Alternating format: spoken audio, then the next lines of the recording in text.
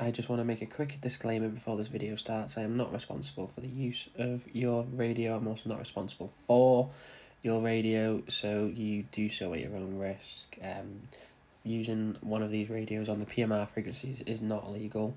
Uh, this whole video is just for educational purposes only, so let's get on with the video. Hello everybody and welcome to today's video and today we're going to be working with the Quansheng UV5K. So what I'm going to show you today basically is like the previous video I did with the Baofeng, is I'm going to show you how to use this radio on the PMR 446 frequencies. So you can take this radio and communicate to other walkie-talkies.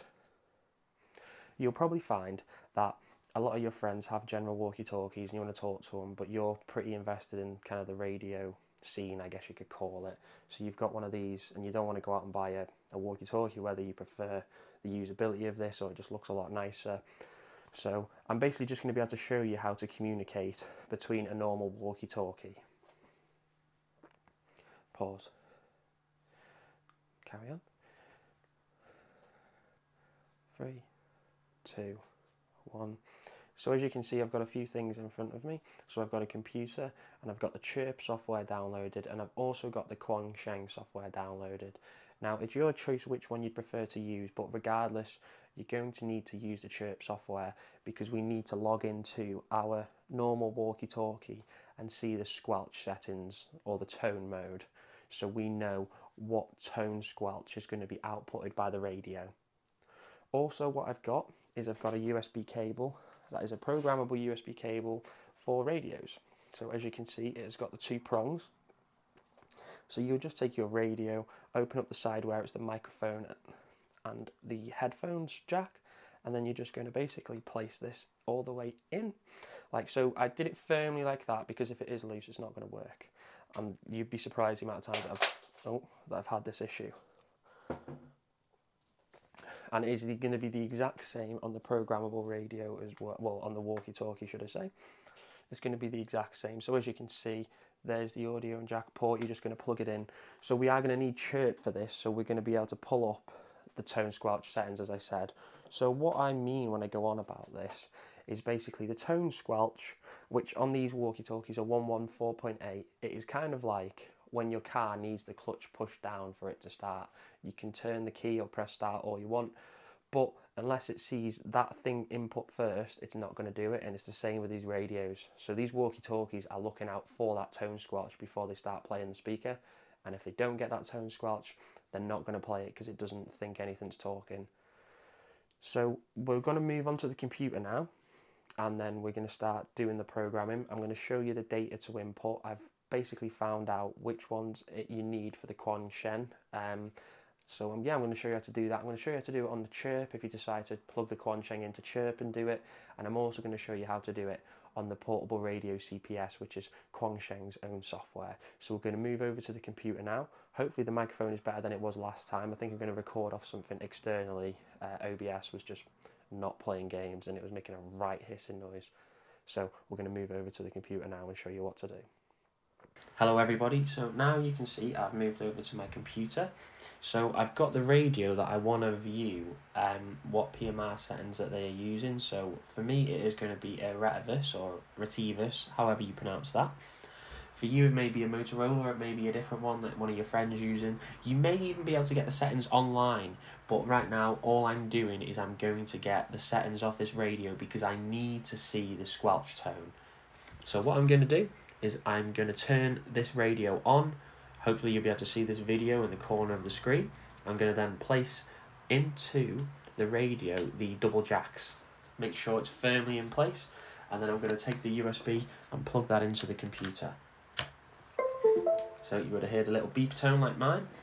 I do believe this is the same for Mac, but it may be different. I don't have a Mac, so I'm not too sure.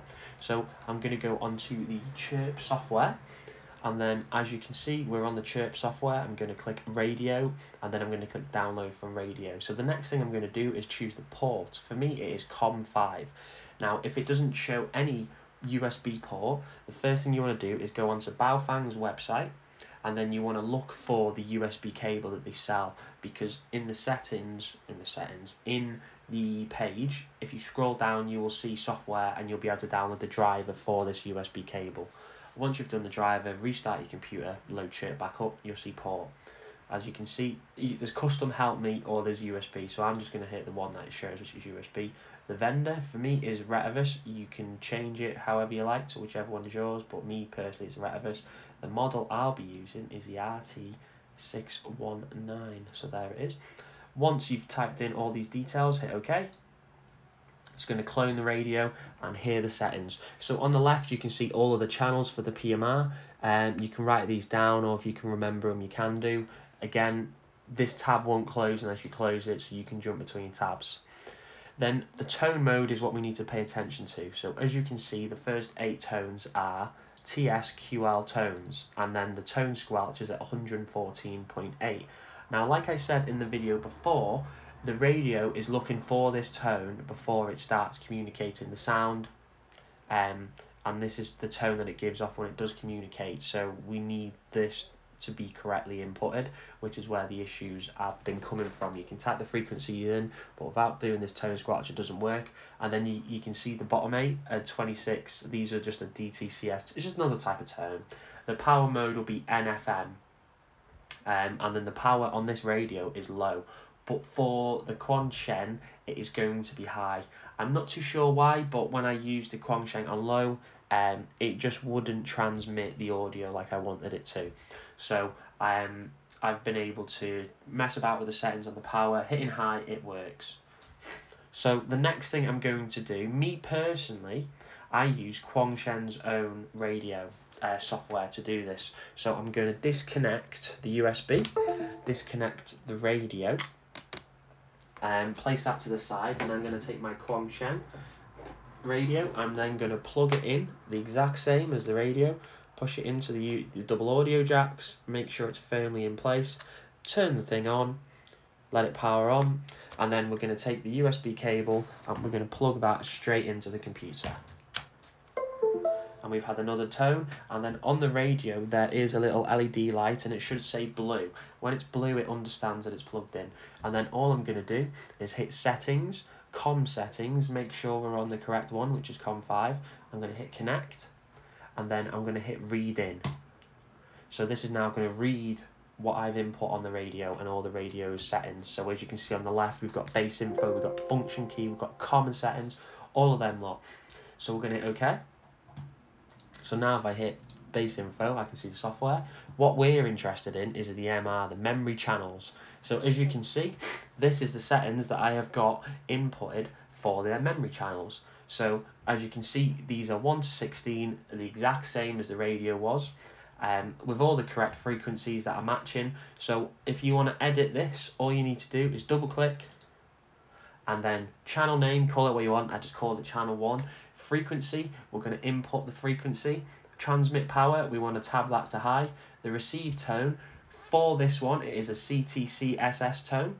And then the bandwidth, I've just left it at 12.5 kilohertz. I don't want to put it as 25 hertz. Uh, the receive subtone. So as you noticed on the tone squelch, for this one, the, the tone squelch is at 114.8.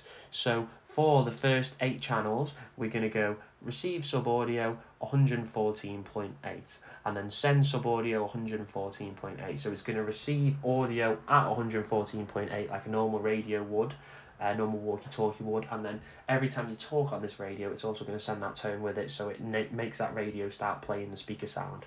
So as you can see these settings here we've got high power CTCSS so make sure these match. Subtone 114.8 then we're going to hit OK now the first thing you need to check, so on the Baofeng, the frequency step was set to 12.5, but on this we need that frequency step to be 6.25 kilohertz. Now when you're inputting these settings on the Baofeng, uh, the Baofeng, the Quansheng radio, it will automatically choose the frequency step as 6.25 kilohertz. You don't have a choice to change that. That's a good thing. So on the Baofeng, you use a 12.5. For some reason on this one, you use a 6.25 kilohertz.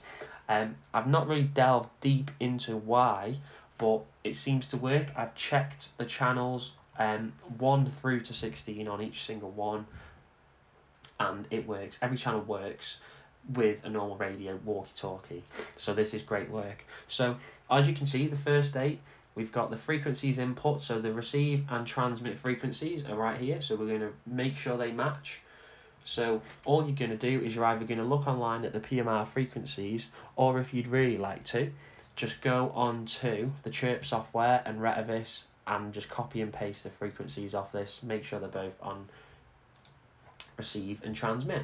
So I'm just going to leave this on the screen now for a few seconds, just so you can pause this video and you can take all of the settings as you can see on here. So we're going to make sure everything's high power, make sure that, as you can see for channel 9, it's the DCS, and then obviously the subtone is 26. So it's the exact same, we're just going to change the receive tone. Instead of it being the CTCSS, it's just going to be a DCS tone. Make sure all of these are correct, so high power. It's the exact same for them all. So high power, type in your frequencies for each one, DCS, 26. I, I'm drilling this in just because as long as you match this up, we're going to be okay. And then if we just scroll down this side as well, as you can see again, this is what the settings are. So you can see for this is the transmit side of things. They'll both, once you input it, they'll both be on there. So you can see everything's here, 26. The frequency step, make sure it's at 6.25 hertz. And all of this is just off, off, off, and no. We, we're not going to touch any of that. We're not messing with any of that. We don't need any of that today. So as you can see, I'm hoping you've been able to pause that. So now we've got that. Once you've input those settings to send that then to the radio, all you're going to do is press write out then what this is going to do is this is just going to send all of that data to the radio. I'm not going to press it because everything's is, is everything's programmed in and I don't really want to mess anything up. Not that it should, but I'm not going to do that. But once you're done, we're just going to hit write out. You're done. Start testing it. Make sure it works. Now, for anyone who doesn't want to use Bao, um, Quansheng's radio, that's not a problem. You don't have to do that. So for this, all I'm going to do is close this. We're going to hit radio download from radio, and then our vendor. So our vendor is Quansheng. So let's have a look. There it is. Quansheng. It's, it's not in alphabetical order looking at it. Oh, it might be actually. I'm just going crazy today. Right, hit OK. UVK5. We're going to hit OK. I'm going to hit OK again. So now this is doing the exact same as the other software was doing. It's just downloading Right, here we go. So this is the settings and how they look for the Chirp software. So I've named them channel 1 through to 16 as you can see. So the tone mode is going to be TSQL. The tone squelch is going to be 114.8. So what you're going to do is click on here, TSQL. It's going to ask you what the tone squelch needs to be and you're going to press 114.8.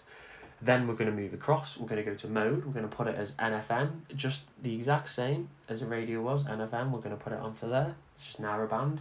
And then for the tuning setup, you're going to put it as 6.25. Now on the Baofeng it was 12.5, but on this it's 6.25. For the power, we're going to set that as high for everything. Um, and again, all of this is just going to be left alone. So all I'm going to do is leave this on the screen. So hopefully you've paused the video, you've taken the time to input everything into Chirp. Once you are completed, the usual setup, upload to radio, it's going to upload. And then just hit OK. It's going to save everything that you've done it on. Make sure the serial port's good. Hit OK. And then that's going to upload. And then you're now going to be able to communicate with other walkie-talkies on the PMR 446 frequency. Now, as previously said, it is not legally to use these radios on this frequency. Um, I don't condone using it. I'm not encouraging it. I'm just literally just whole video is just for educational purposes. It was just for me. I was looking online. No one's been able to do it. I was like, I want to be able to do it. I want to be able to show people how to do it also, which is what I've done. So thank you for watching this video. I'm going to quickly just give you a demonstration of the walkie-talkie um, talking to the Quansheng to show that the Quansheng can receive. I'm not going to do vice versa because it is illegal to communicate on the PMR frequency with this Quansheng. So thank you very much for watching and we're going to move outside to show this demonstration. So right now I'm on my wireless microphone. So as you can see I've got the walkie-talkie, this is the Baosheng setup here. I'm going to be communicating over this Retevis, so I'm going to disconnect my wireless microphone and then you'll be able to hear it coming out of the Quansheng microphone. Now I'm not going to talk into the Quansheng onto the walkie-talkie because that is not legal to do so.